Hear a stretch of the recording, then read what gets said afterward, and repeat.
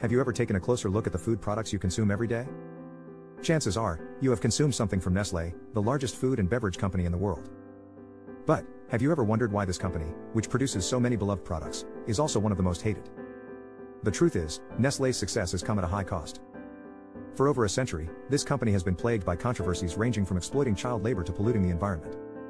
Despite these controversies, Nestle continues to grow and dominate the global market, raising serious questions about the ethics of the food industry.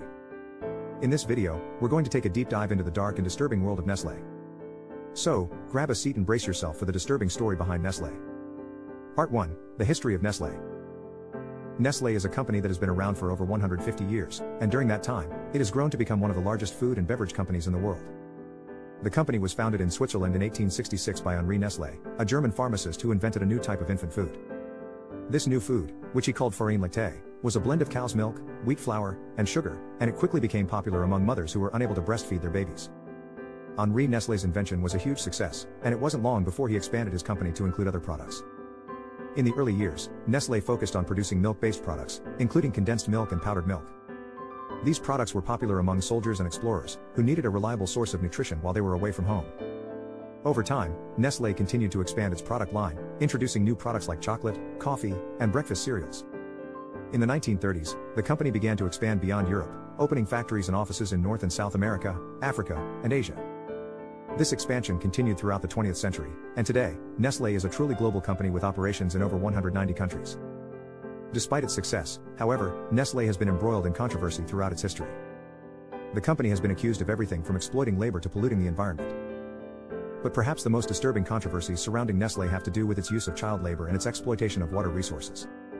Part 2 Child Labor Controversies. One of the most shocking controversies surrounding Nestle is its use of child labor. The company has been accused of using child labor in its cocoa plantations in West Africa. Children, some as young as six years old, were forced to work long hours, in hazardous conditions, for little to no pay. These children were often exposed to dangerous chemicals and heavy machinery, and many of them were injured or killed on the job. Despite the evidence against them, Nestle denied the allegations and fought the lawsuit in court. However, in 2020, Nestle finally admitted to the use of child labor in its cocoa supply chain. The admission came after years of pressure from human rights groups and activists. This admission was a huge blow to the company's reputation and sparked outrage around the world. Part 3 Water Controversies. Another major controversy surrounding Nestle is its use of water resources. The company has been accused of draining water resources in some of the most water stressed regions in the world.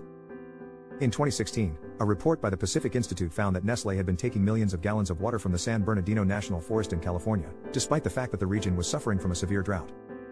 This was just one of many incidents where Nestle had been accused of exploiting water resources. The company has also been accused of causing water shortages in regions like Brazil, Pakistan, and India. Nestle's actions have led to protests and boycotts of the company's products around the world. Part 4 Nestle's response. Nestle has been accused of many terrible things, but the company has always maintained its innocence. Despite the evidence against them, Nestle has continued to deny the allegations, and has even gone so far as to launch a PR campaign to improve its image. The company has also implemented various sustainability measures and has pledged to eliminate child labor from its supply chain by 2025. However, critics argue that these efforts are too little too late, and that Nestle has not done enough to make amends for its past actions. The company's response has been viewed as insincere by many, and its continued use of controversial practices has led to ongoing criticism and boycotts. Conclusion From its use of child labor to its exploitation of water resources and unethical marketing tactics, Nestle has a long and disturbing track record.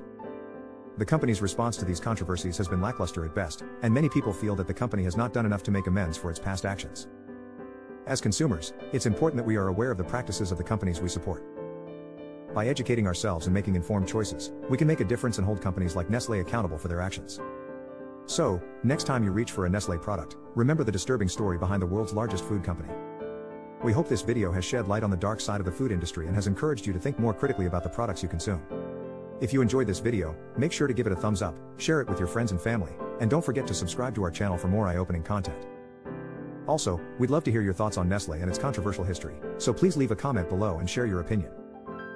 Don't forget to check out our other related videos.